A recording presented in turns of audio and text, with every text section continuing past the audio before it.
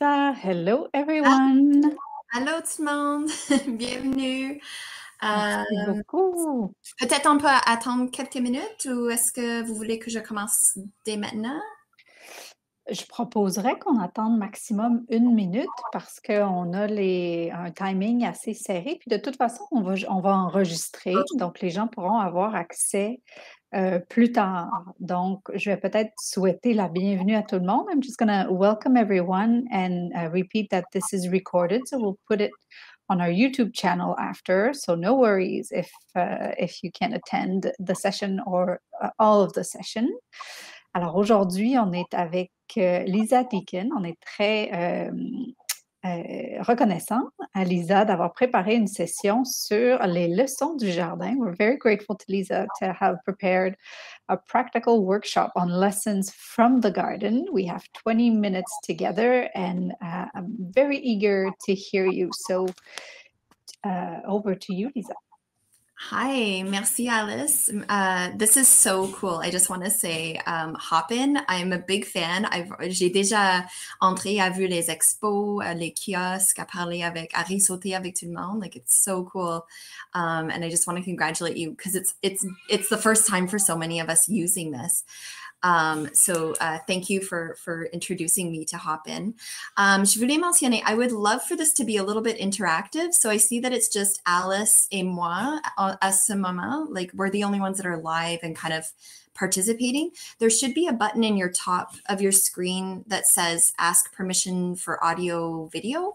I would love to see your faces, know who's here, if you're if you're interested in in participating and chatting and and, and asking questions. Sinon, vous pouvez aussi uh, écrire des, uh, des messages dans le chat, c'est correct. Um, so I'm just going to start, um, yeah, as Alice mentioned as well. I'll share my slides. Now, this is new for me, so I'm just checking here. How do I share my slides? Um, I don't seem to have a button that says share slides, Alice. Is there? I thought it would be. Uh, like- yeah, so it normally uh, just at the bottom of your own image, you have the little camera icon, microphone icon, YouTube, and then a screen. So Ah, click on that. Oh, merci. OK, so, on va utiliser ça et voilà. Ça marche? Est-ce que vous voyez les diapos? Ça load. Ouais, on voit les diapos, c'est super. Excellent. OK. Euh, je, je vous vois pas, mais c'est correct. Um, maybe ouvrir. Ah non, c'est correct. Je peux juste faire la présentation, puis je peux, je peux quitter et, et on peut jaser un peu, j'espère. Um, okay, welcome everybody. Um, this is going to be a brief um, stream of consciousness about social innovation lessons from the garden. And um, when I was approached to kind of talk about gardening, I thought, um, what do I know about gardening? I'm a totally amateur gardener. I, I have gardened all my life, but um, as is the case with gardening, you're always learning, you're always um, changing and growing new things. Um, so I thought, well, you know, because this is a social innovation fair, um, what lessons do we learn from gardening that we can apply to our social innovation careers? So stick with me. It might seem really um, meta, like c'est plein de métaphores, but um, maybe we can um, just explore this topic together. And I'm, I'm very interested in hearing from others as well. Um, si vous avez des commentaires, des histoires, like des choses pertinentes à vous, like things that come up for you as I talk about these concepts, I would love to hear them because it was really just a, a late night brainstorm that I had about my career and my passion for gardening. Um, so a bit about me. Um, moi, j'habite à Embrun.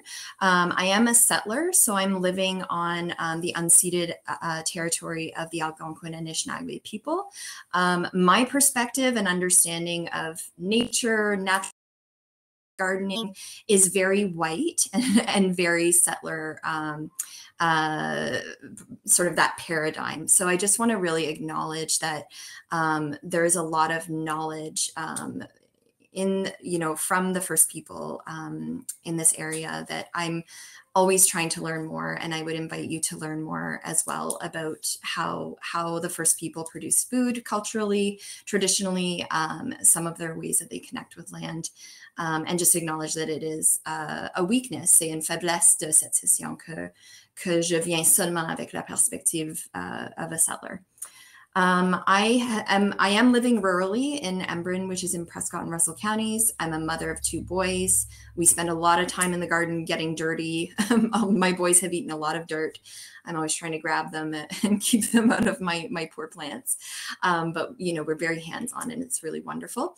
I um, I have a, a, social innovation firm called DataFest Ottawa. It's been around for seven years. Um, it's a mix of you know sort of some of the things that I offer comme consultant série les recherches um, Pluto uh, service design um, and facilitation around groups and, and those topics in particular.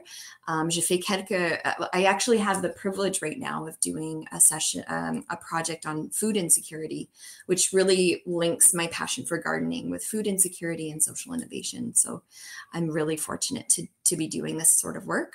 I love growing things. I love learning. Um, I'm a gatherer. I'm a gatherer of information. I'm a gatherer, uh, a grower and gatherer of, of food and beauty and and uh, good relationships. So that's a bit about me. Um, the plan for today, uh, we've got 20 minutes. Comme Alice a dit, on a 20 minutes. Alors, uh, un plan très bref. We're going to talk about social innovation careers, and I'll share some of my gardening disasters with you, as well as some of the triumphs, um, and and talk about the intersection of social innovation and gardening and connection and ecology.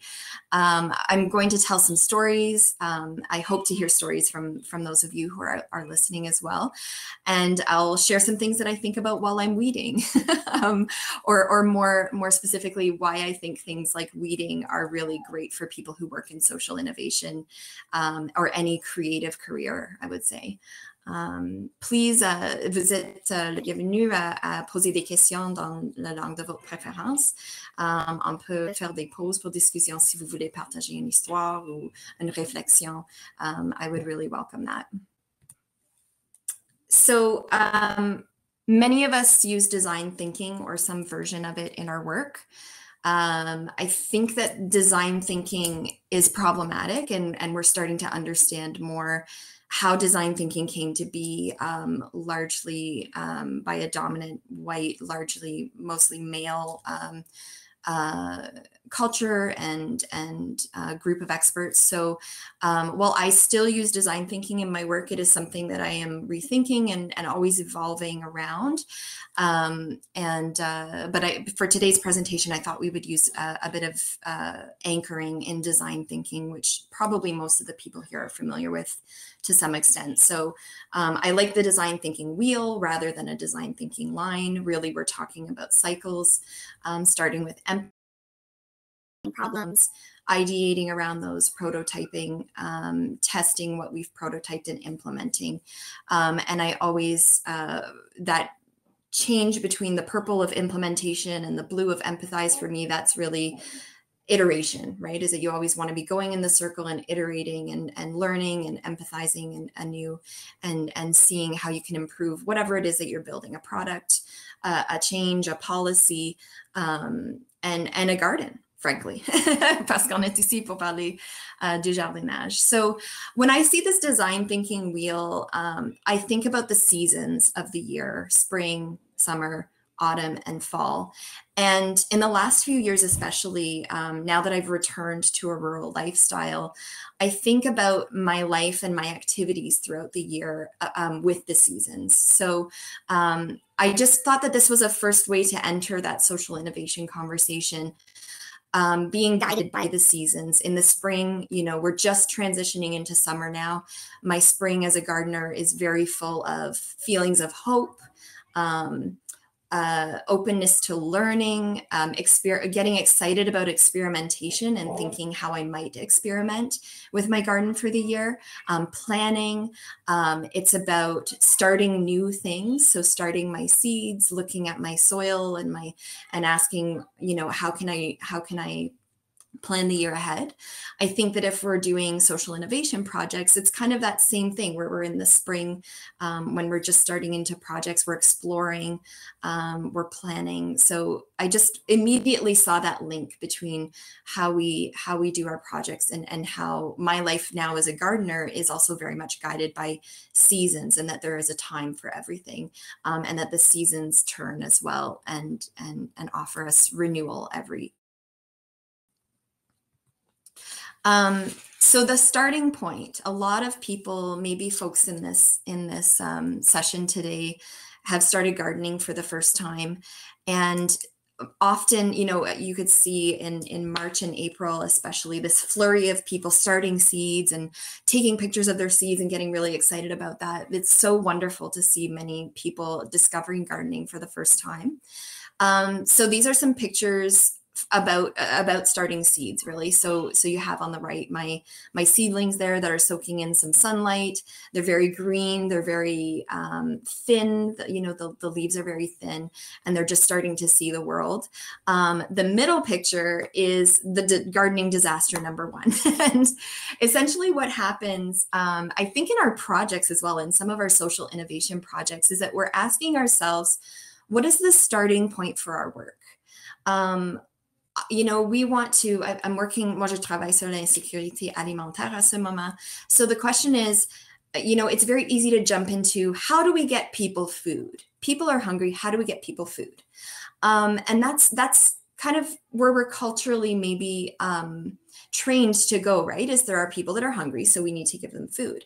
But I would encourage all of us in our social innovation careers, and I think a lot of us are called to do this, is is really reflect and take a long time and lay, and start picking apart causal layers and causal challenges of of social social challenges that we want to change right?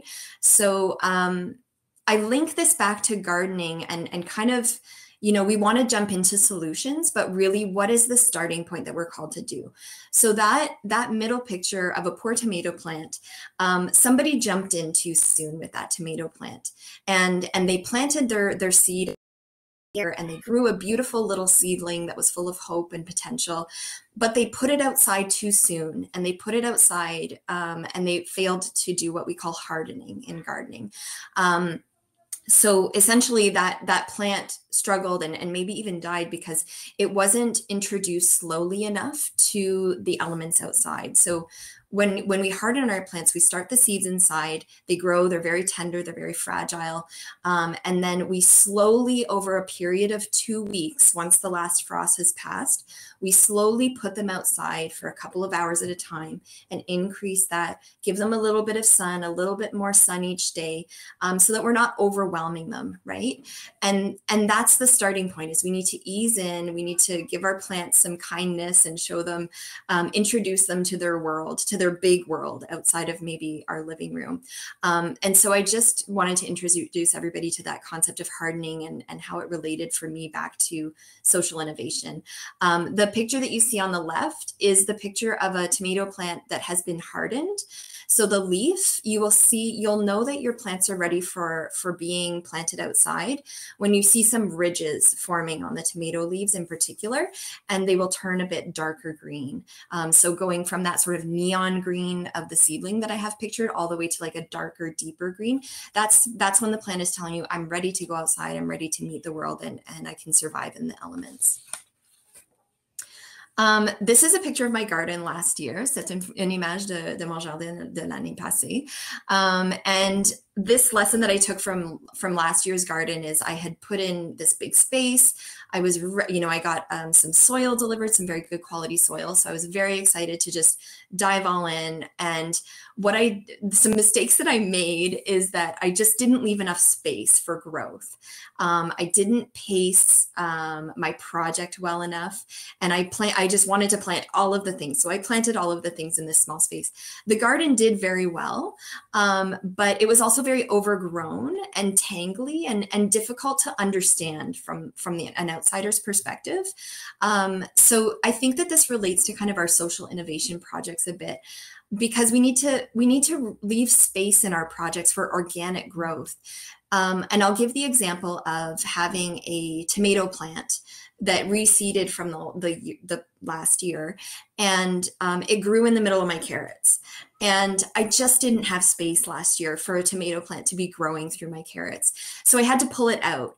And and in our social innovation projects i think you know we need to space the time and space the conversations and the consultations and the process so that organic things that pop up that are really great that might impact the project enrich the project um, so that we create space for them um, and the ultimate I, just back to the garden. The ultimate um, kind of funny thing around about last year's garden is that it was so dense by the middle of the summer that I actually had birds building their nests and having their babies in my tomato plants because it was that dense that they felt so safe and secure um, um, in my garden, which was lovely. It was so lovely to discover their little nest, but it was also like, oh, I just didn't space this out enough.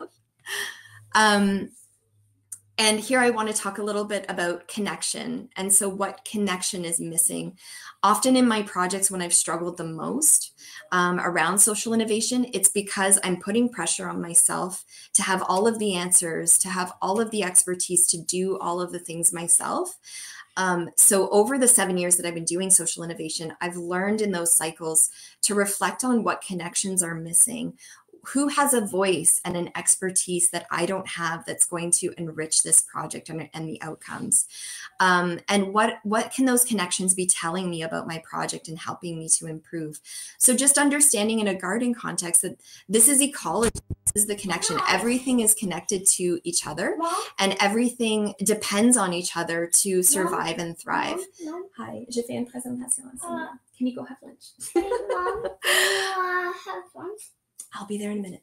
Yeah, j'arrive bientôt. okay. Um, sorry for that. So um, I just wanted to show you a picture of my um, uh, show you a picture of my apple trees. And what I did last year is I reseeded underneath my apple trees with clover um, because clover is a connection for those apple trees that is helping take goodness, do the photosynthesis, and put um, nitrogen into the soil so that the apple trees have great soil to grow their, their fruit from. Um, so I've actually, you'll see on the right, there's a picture of a, the meadow that has grown as I've chosen not to mow that grass so that the soil under the trees is as healthy as possible for those trees. So that's just an example of building an ecosystem around your garden and what you're trying to produce. Um, I also have a picture of an aster, which is a native wildflower. Um, and I encourage you, wherever you're gardening, to make sure that you have flowers around your garden. Um, ideally native flowers that will attract a lot of pollinators, the bees, the butterflies, the flies, um, because when you have pollinators and pollinating friendly um, fruits, uh, fruits and vegetables and plants around your garden, they will also visit your squash flowers and your your pumpkin flowers and make sure that those are pollinated as well, so that you can produce the the fruits and vegetables. So it is really about connection and ecosystem, and and I think that there are lessons there for the work that we do as well as um, as well as the garden as well. And just to give a shout out here another great example of connection that the first people um, of canada uh, of, of this place so-called canada learned was about the three sisters. So planting squash corn and beans together is another great example of connection. And if you're not familiar with the three sisters i'd really recommend checking it out um, so, what do we need to thrive? We each need something different to thrive. And in design thinking, we talk about how important it is to start our work with empathy. So, I Googled empathy and plants, and I found that there is actually a product for plant food called empathy. So, I just thought that was really funny and I wanted to include it. Um, empathy is the first step of all of our projects. Um, it's about understanding what are the needs of the people um, that are involved, what is the need of the environment that's involved. Um, you you know, some plants need coffee grounds, like tomatoes really love that acidic coffee grounds um, as a fertilizers. Some um, crawling beans and peas want a trellis so that they can grow up. Some plants want to be buried deeper. Some want to be buried um, more um, closer to the surface. So it's just reminding us that in our work as social innovators and in our gardening, we need to really understand the different needs and empathize with with everything um, as according to its different Um, being joyful in the garden. So, being joyful in the garden and being joyful in our work is another lesson that I would like to share. Um, some ways to carry joy throughout your season of gardening in the spring and the summer, and even the fall and the winter when you're in your planting stages or you're harvesting, is um, planting something fun. So, choose something to plant that's just for fun. Um, in this uh, picture, you'll see in the white basket, there's a little squash there. That's actually not a squash for eating, it's a squash for making bird houses. So I, I was gifted a plant this year, to, last year, to do um, birdhouse squashes, and I did. And I have a few birdhouses now around my house um, that are just made from these dried out squashes. And that was really fun. I had never grown that before. Um, and, and, and it was really really great to see that outcome. And it was just a little special thing that i did just for myself. Um, so finding joy i think in the garden and in, in our work is also really important and comes through um, and and definitely contributes to the success of whatever we're trying to do. Um, so a couple of other ways of being joyful are celebrating your harvest um, really moving your body in the garden and enjoying that movement. A lot of us are in front of screens a lot lately. So just celebrate the movement, celebrate getting your hands dirty. Um, and when I mentioned weeding, you know, pulling the weeds of the garden can be very monotonous. But there's also a lot of research that shows that the more that we do that type of motion, the more creative we get. And it gives our mind space and, and rest to be able to ideate a little bit. So I find especially when I'm weeding the garden, that connection to my career is that I'm able to have space to be creative um, and, and, in doing that work. So, just a reminder to always bring joy to the garden and to your work as much as you can. Um, at the end of the, your season or at the end of your social innovation project, it's time to take stock of what's happened, what did we learn through the prototype you know trying something new that we planted this year for the first time? What worked what didn't work? Um, what can we improve for next year? And and and really that's entering into that iteration phase of design thinking. Um, so iteration to me looks like composting um, always trying to improve my foundation of my garden and the soil health. Um, a lot of us now that are starting gardening are buying soil, bringing soil to our homes. It's so important that we um, give back to the soil what it gives to us. And so I would really encourage you if you have a piece of land or a backyard, please do composting. Please be kind to the soil that is in your very backyard um, because that's where a lot of this change needs to happen. And, and that's where good growing um, starts. And also in iteration, you can choose your, you can save some seeds. So which vegetables and fruits did the best this year. Um, save those that did the best and save those seeds and iterate. Next year, you'll have um, perhaps even better plants and better produce um, because you chose some of the seeds that did really well this year and, and you resow them next year. Um, so, those are just a couple of thoughts that I had on social innovation and iteration and and and bringing that to the garden context as well. I think I went a little bit over time. Um, je m'excuse. Et c'était plutôt en anglais euh, la majorité de la présentation. Je m'excuse pour ça. Um, mais je vais euh, vous inviter à, jaser un peu. Euh, vous avez là mon, mon, adresse courriel si vous voulez euh, parler, faire une connexion euh, comme vous voulez. C'était vraiment un plaisir de, de, de, partager quelques, quelques idées, quelques pensées que j'avais dans mon jardin. Moi, je trouvais ça vraiment inspirant, Lisa. Merci beaucoup. Moi, je suis à, à la campagne depuis, c'est le troisième été où on a déménagé à la campagne et c'est la deuxième année où je fais un jardin. First year that I'm trying seedlings. Uh, last year, I was like, okay, no, I can't. There's just it's too big of a step. J'ai beaucoup aimé les différents euh,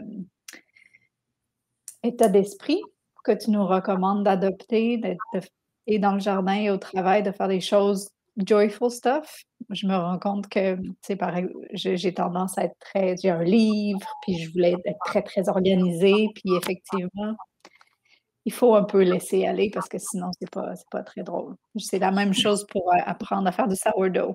Que j'ai fait aussi cette année. Oh donc, just let it go. You're gonna, it's gonna be fine regardless. It's gonna be pleasant, and if it turns out great, then cool. If not, it's still gonna be interesting. Alors, merci beaucoup pour ça. Moi, moi, aussi, avec le sourdough, j'ai dédié, je pense, quatre ou cinq mois de ma vie cette année sur le sourdough. Finalement, j'ai dit non, le sourdough, c'est pas pour moi, c'est pas pour mon style de vie euh, de maintenant. Mais, mais oui, c'est vrai, like, we take time, take time to learn things. Um, don't do it all at once. Um, these are also, like, les grandes leçons pour mon carrière aussi, like, s'appliquent. Like, enjoy the process enjoy the day to day look up once in a while and celebrate but but don't don't try to do everything at once. And it's the same with gardening and, and that's what it teaches us. Agreed. On peut merci euh, l'opportunité de partager. Mais merci à toi. Je trouve ça très très chouette. Je sais pas s'il y a d'autres personnes qui ont envie de partager mais on a on a fait donc le, we designed this to have like very short sessions the next one is already starting at 12:35, so I don't want to go too long over. Um, mais si vous voulez rester poser des questions, c'est super. Puis sinon, mais vous pouvez toujours aussi parler avec Lisa euh, en chat privé pendant tout l'événement, pendant qu'elle est là. Puis euh, dans les chats privés, vous pouvez aussi euh, avoir des échanges vidéo. Donc, moi, je vous quitte. Je te remercie encore. Lisa. Merci, Alice. Je reste euh, et puis je vais voir l'autre aussi. Merci à bon salon, tout le monde. Merci à toutes qui sont venus.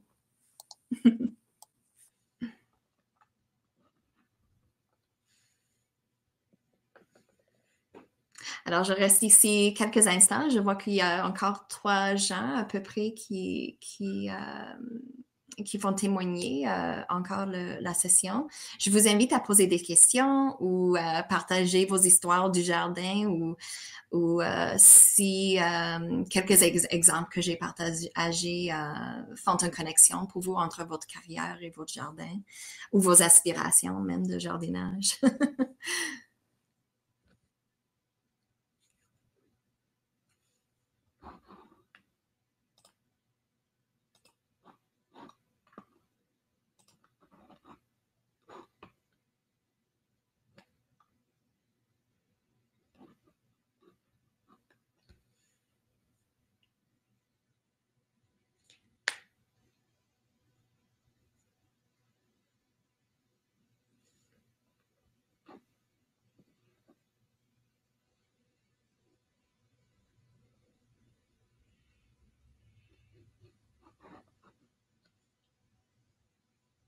Merci tout le monde. Je vais partir maintenant. bon appétit, bon dîner.